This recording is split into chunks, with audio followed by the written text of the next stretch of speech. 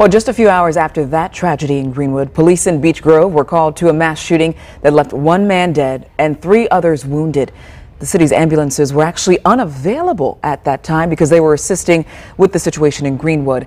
Fox 59's Jesse Wells breaks down what we know about what happened here. Neighbors tell me this entire parking lot here at Don Challis Park was filled with cars for a vigil Sunday night, and several arguments started breaking out over several hours.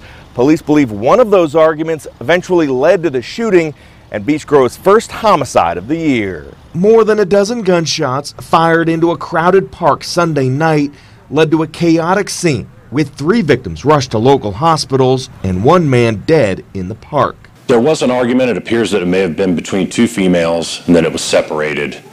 And then somehow that, that erupted into this massive barrage of weapons being fired. Deputy Chief Tom Hurley is leading the investigation and says police spoke to nearly 40 witnesses but didn't know if the victims and suspects actually knew each other or not. The indications I have right now is that, that they weren't because we conducted dozens of interviews last night and I don't think a name surfaced. Police do think multiple suspects fled in a newer white Toyota Camry seen in this surveillance picture. That car may have also had a window shot out. We're tired of this. We're tired of the violence. Stop.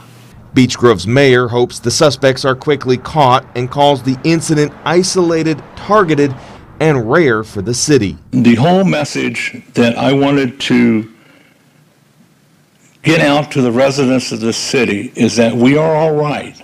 We are a good city, but sometimes evil finds us. The mayor also believes the criminal justice system needs to impose tougher penalties on lawbreakers to reverse the rise in violence across central Indiana in recent years. Local prosecutors have to step up and prosecute these people for gun crimes. We can't continue down this road Again, because no arrests have been made, anyone with information on the case can still contact the Beech Grove Police Department. Jesse Wells, Fox 59 News.